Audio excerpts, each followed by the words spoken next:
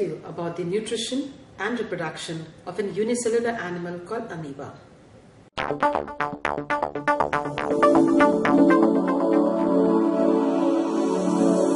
Amoeba belongs to the kingdom Protista. The name amoeba comes from the Greek word amoeb, which means change. The amoeba is a single-celled microscopic organism. It has cytoplasm, nucleus, cell membrane and a variety of inclusions in the cytoplasm and exhibits all the essential functions of any living organism. They are found in fresh water like puddle and ponds, saline water, wet soil and in animals. The cell membrane of an amoeba is flexible and porous. It allows the amoeba to change shape. The amoeba breathes using this membrane. It also controls the entry and exit of substances into and out of the cytoplasm. The cytoplasm is a jelly-like material which fills up the cell space. There are two types of cytoplasm in the amoeba.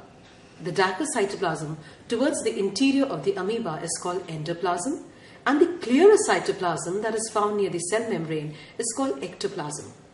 By pushing the endoplasm towards the cell membrane, the amoeba causes its body to extend and creep along. It also consumes food by this method. The nucleus is a large disc-shaped found in the cell. It controls the growth and reproduction of the amoeba. The contractile vacuole removes excess water to the outside from time to time by osmoregulation so that the amoeba does not burst. Because the concentration of solutes in the cytoplasm is greater than that in the surrounding fresh water, the water tends to enter the cytoplasm by osmosis via the partially permeable cell membrane.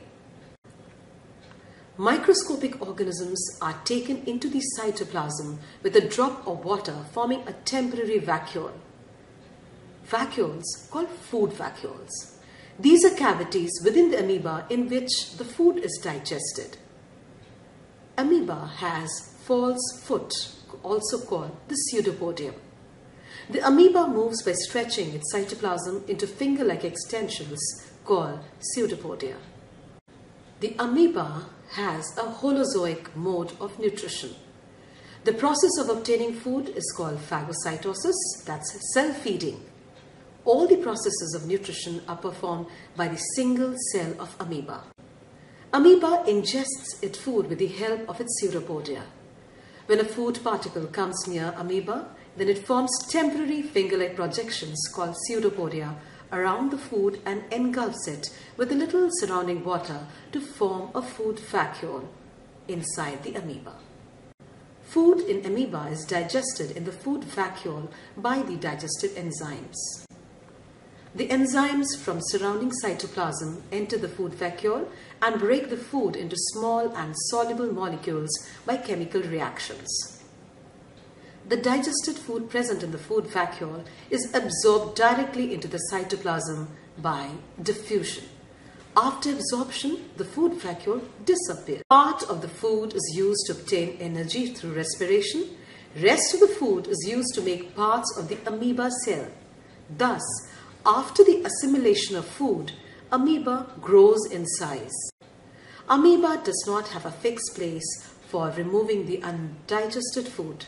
Thus, when a large amount of undigested food collects inside the amoeba, the cell membrane suddenly ruptures at any place and throws out the undigested food out of the body of amoeba.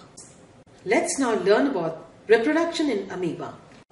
Amoeba reproduces by an asexual method known as binary fission, where the parent organism divides to form two new organisms. When this happens, the parent organism ceases to exist and the two new organisms come into existence. This happens as follows.